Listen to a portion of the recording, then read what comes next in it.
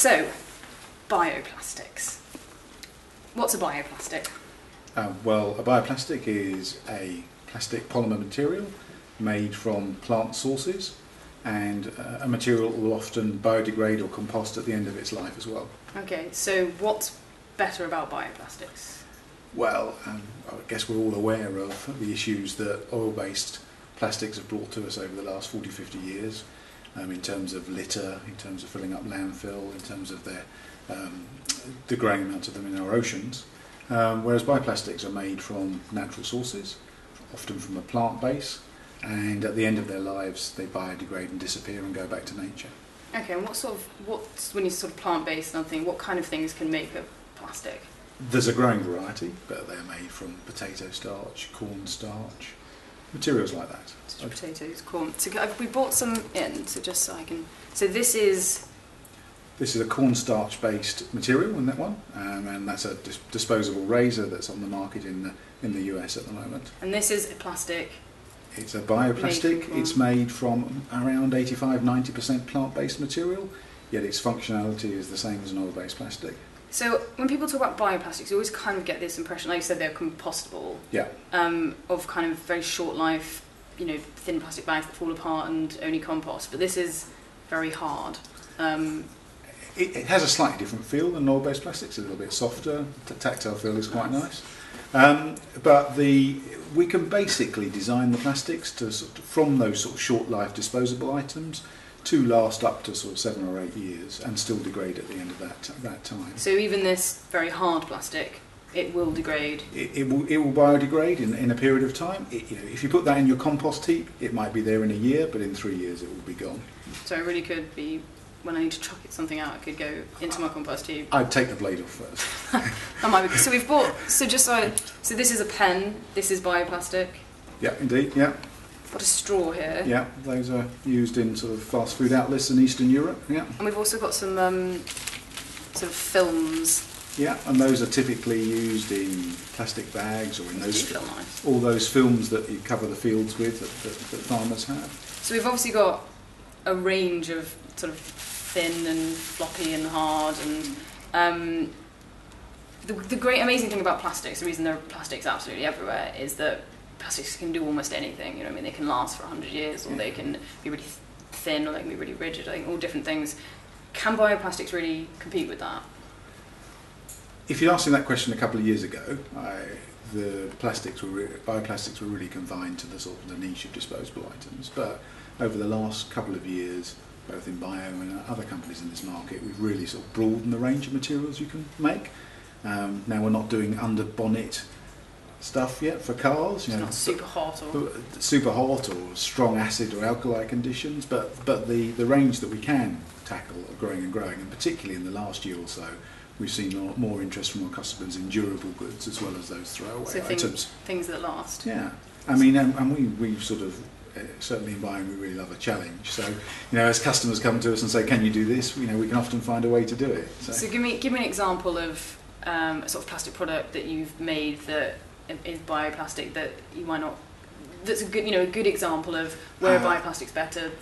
A good example where the sort of function works as well is, the, um, for example, protectors around small trees. Yeah. and we do those for companies both in the UK and in Brazil. So if you can imagine when you plant a tree at the beginning of its life, you want to protect it from rodents and rabbits and things like that, and you put a plastic guard around it. Now on the oil-based version of that, eight years later you've got to send a man or woman back to go and pick it up. Uh, Okay. otherwise it's littering the forest floor. With the bio The version, of- tree can't grow out of. Yes, well, well the, the trees tend to grow out and break them anyway. But with the Okay. bio version, when the trees grow out of them and break them, they fall into the leaf litter, and within a year or so they've gone. So, So literally so after that period, I'd go back. yeah, I can't see any plastic. A- a- and the standards about biodegradable materials are that within about 12 weeks of being in the right conditions, 90, they have to defragment completely into tiny pieces. Sort of 95% of the, original material has to disappear. Okay.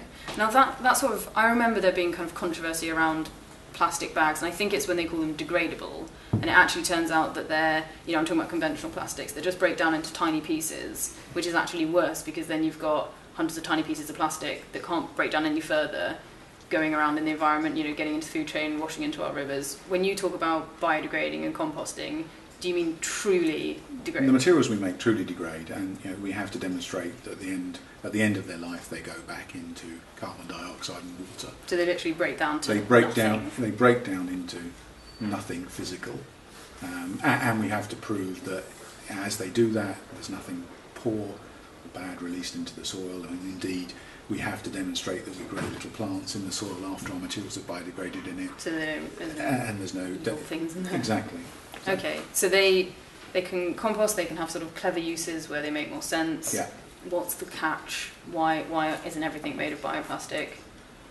I mean, these materials at the moment are more expensive than their oil-based cousins, and part of that is, you know, we have to grow our inputs, be it a potato or a tree, know, and whereas oil arguably comes out of, uh, comes up out of the ground, um, and then at the moment, bioplastics still form a small proportion of the total plastic sales. So there's also a scale advantage that the oil guys have versus our materials.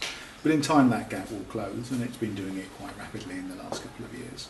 So bioplastics are catching up. Bioplastics are getting cheaper as we make them in larger and larger scale, and you know, oil's getting more expensive as we as we find there's not as much about it in the world as we perhaps expected. Okay, and if if we're making everything from bioplastic, and you're saying it's made of corn and things like that, are we talking that is it is it another biofuel? Are we going to have to chop down all of our rainforests just to be growing stuff for our plastics?